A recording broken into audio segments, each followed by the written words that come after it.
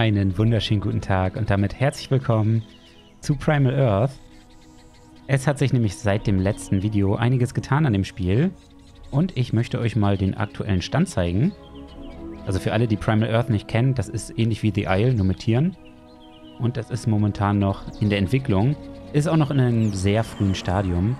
Also einige Dinge sehen noch nicht so gut aus, zum Beispiel wenn sich das Tierchen dreht. Aber ich finde das Model von dem Gepard, der übrigens auch neu ist, schon gar nicht schlecht.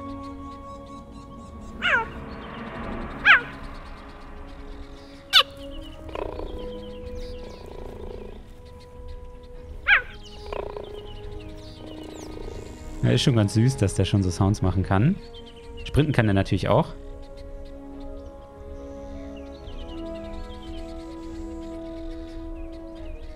Und mittlerweile können die Tierchen auch schwimmen.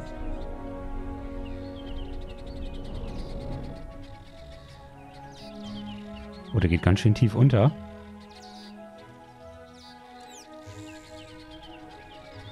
Aber jetzt erstmal wieder an Land. Er kann sich nämlich auch hinhocken und auch hinlegen. Sieht auch noch alles ein bisschen clunky aus, ne? Also wie er sich bewegt so. Diese Übergänge zwischen den Animationen. Das ist alles noch nicht so schön, wie es sein soll. Aber ich finde, optisch sieht das Spiel schon gar nicht schlecht aus. Man kann ja auch wieder in verschiedenen Geschwindigkeiten gehen. Ich kann jetzt zum Beispiel auch schneller laufen oder gehen. Und man kann dann natürlich auch immer noch schneller laufen. Und dann auch richtig sprinten. Das haben wir ja gerade schon gemacht. Das finde ich auch ganz cool, dass es so viele verschiedene Geschwindigkeiten gibt.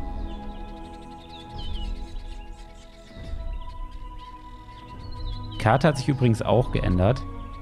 Also gibt es jetzt auch schon so ein bisschen mehr Biome wie den Dschungel hier.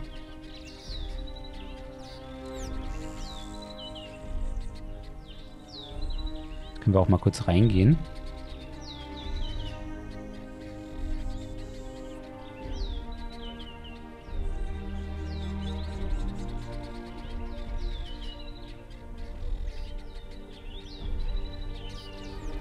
Und das hier ist der weibliche Gepard.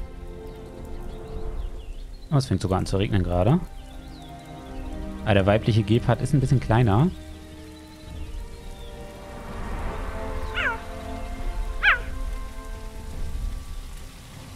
Aber wir sind jetzt hier gerade am Meer. Das ist ganz gut. Dann können wir da mal reingehen und schwimmen. Okay, das ist auf jeden Fall noch ein bisschen zu niedrig. Der würde es auf jeden Fall ersticken. Aber jetzt sehen wir hier auch schon mal die Wassereffekte, das auch ganz cool ist. Tageszeitwechsel und Wetterzyklus gibt es auch schon im Spiel. Und es gibt auch Nachtsicht. Wird halt alles ein bisschen heller.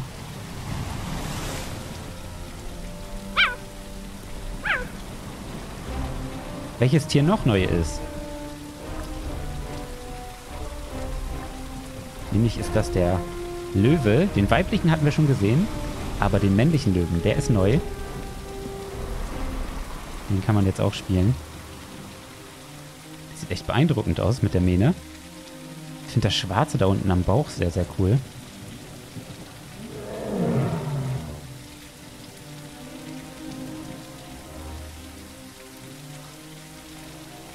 Hat schon was. Oder kann auch schon angreifen.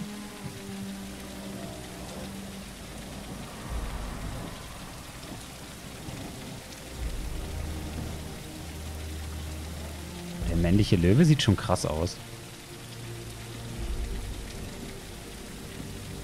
Da sehen die Animationen auch schon besser aus, die Übergänge.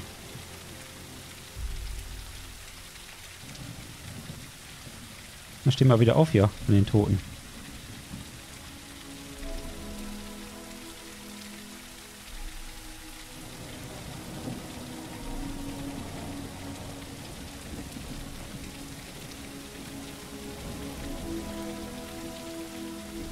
Schleichen kann er auch.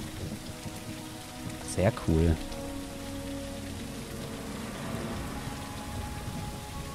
Ich kenne leider die ganzen Tasten noch nicht auswendig. Aber ich finde das gerade alles so ein bisschen raus. Und jetzt Vollsprint.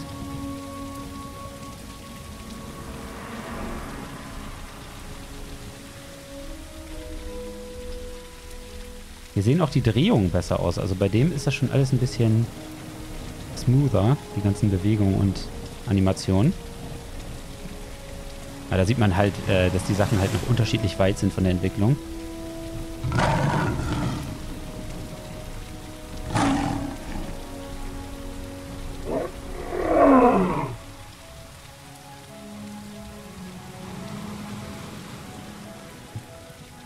Falls ihr nochmal den weiblichen Löwen und die anderen Tiere sehen wollt, da verlinke ich euch das erste Video, wo ich das vorgestellt hatte, mal für euch in der Videobeschreibung. Aber der männliche Löwe, den finde ich schon mal sehr, sehr gut. Das Schwimmen von dem männlichen Löwen können wir uns auch mal angucken. Ja, der bleibt mit dem Köpfchen noch über Wasser. Außer eine Welle kommt.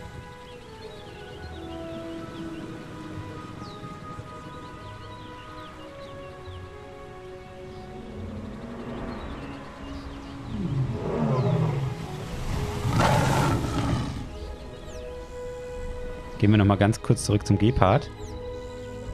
Zuschnappen kann er leider doch noch nicht. Aber dafür kann er auch schleichen.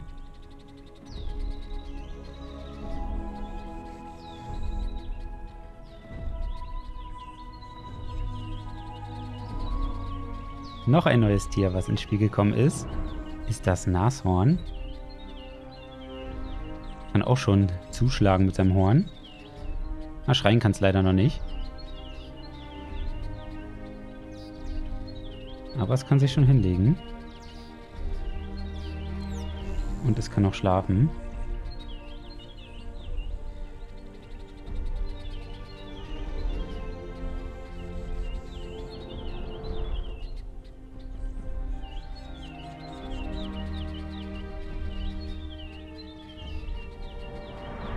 Ja, auch hier sehen die Drehungen noch ein bisschen komisch aus.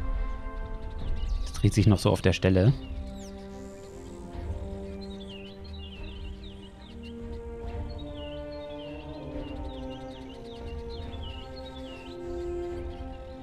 Sounds fehlen auch noch leider.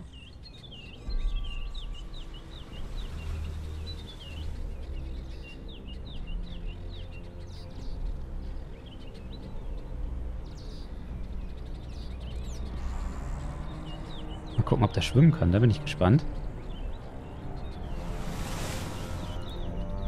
Geht aber auch noch zu weit unter. Nur das Horn guckt raus. Regnet das jetzt schon wieder?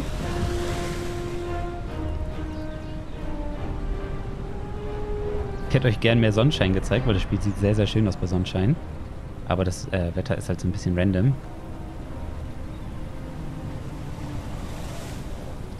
Das ist langsames Gehen. Ein bisschen schnelleres Traben, sag ich mal. Dann kann man auch noch, noch schneller traben. Und sprinten. Oh mein Gott. Krass. Einfach Blitze. Das habe ich auch noch nicht gesehen. Wir haben jetzt anscheinend einen Sturm.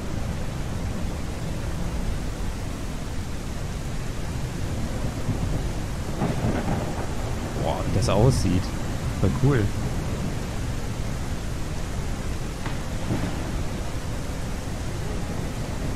Okay, das Gewitter ist sehr, sehr atmosphärisch.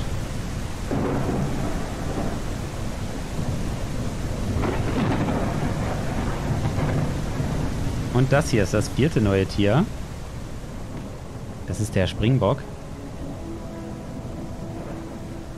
Der läuft jetzt hier auch im Gewitter rum.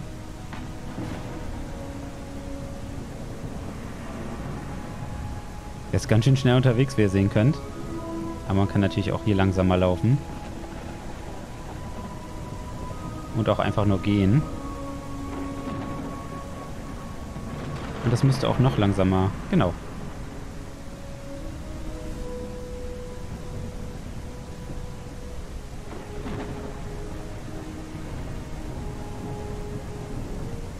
Ah, der hat auch schon so ein paar Gesten, die er machen kann.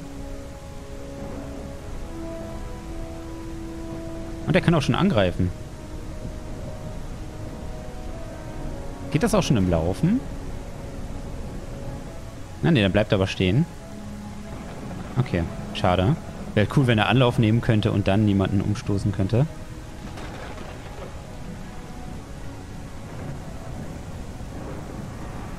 Hinhocken kann er sich auch. Und auch schlafen legen.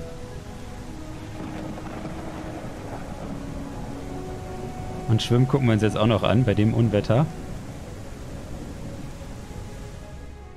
Ja, auch hier geht es ein bisschen zu weit unter.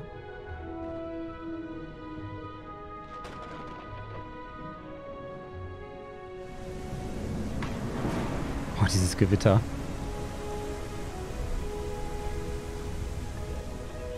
Ansonsten gibt es jetzt auch bei den Tieren, die vorher schon drin waren, jeweils auch die weibliche Version. Ich glaube, vorher gab es nur die männliche. Die männliche ist ein bisschen größer als das Weibchen hier. Aber ansonsten ist es kein großer Unterschied. Bei dem Löwen ist halt ein krasser Unterschied. Deswegen habe ich euch das auch gezeigt. Die Giraffe haben wir auch. Da sieht man nur den Hals. Und da ist auch das Weibchen ein bisschen kleiner. Da kann man dann auch den Kopf sehen. Dann haben wir hier noch ja, das Rhino haben wir uns gerade angeguckt. Da ist das Weibchen auch ein bisschen kleiner. Und den Springbock hatten wir uns auch das Männchen angeguckt. Und das Weibchen hat auch viel kleinere Hörner. Also das ist auch ein sehr markanter Unterschied. Dann haben wir hier noch das Gnu. Und das Weibchen sieht auch anders aus. Also das kann man auch erkennen. Auch wesentlich kleiner. Auch die Hörner sind ein bisschen kleiner. Und zu guter Letzt haben wir bei den Pflanzenfressern noch das Zebra. Also auch wieder ein Größenunterschied. Bei dem Gepard, das hatten wir uns, glaube ich, gerade schon angeguckt, ne? Also ein bisschen auch hier die Größe. Und beim Löwen ist es halt natürlich am krassesten. Das hier ist das Weibchen. Und das hier das Männchen. Sieht in der Vorschau ein bisschen verbuggt aus, sehe ich gerade. Also das Sieht sehr, sehr komisch aus. Aber wenn wir jetzt spawnen würden damit, dann hat das auch nicht hier vorne so ein komisches Fell.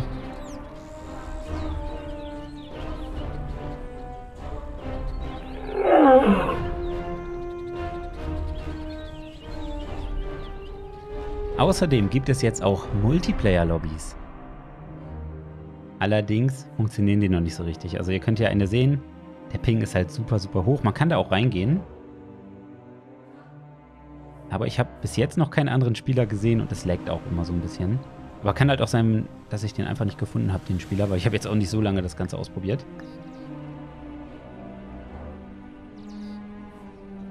Dann können wir ja mal einmal hier Richtung Sonne sprinten. Vielleicht sehen wir ja was. Die Karte hat sich halt auch sehr stark verändert, ist aber auch noch super unfertig.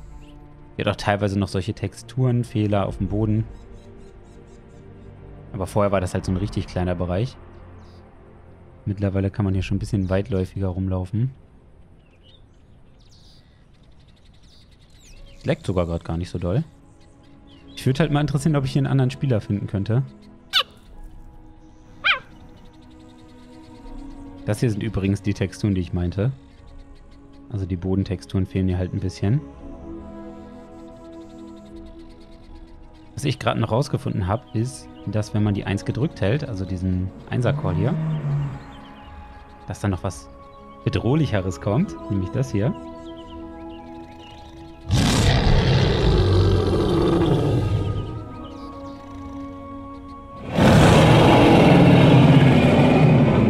Sieht schon ganz krass aus, aber irgendwie noch so ein bisschen, als wenn es in Zeitlupe wäre oder so. Aber das waren jetzt, glaube ich, erstmal alle Neuerungen, die mir aufgefallen sind. Falls ihr das Spiel Primal Earth interessant findet und mehr davon sehen wollt, dann lasst es mich mit einem Like wissen und schreibt auch gerne in die Kommentare, was ihr euch noch für das Spiel wünschen würdet. Ich wünsche euch jetzt noch einen angenehmen Tag. Macht's gut, haut rein. Euer Dandy.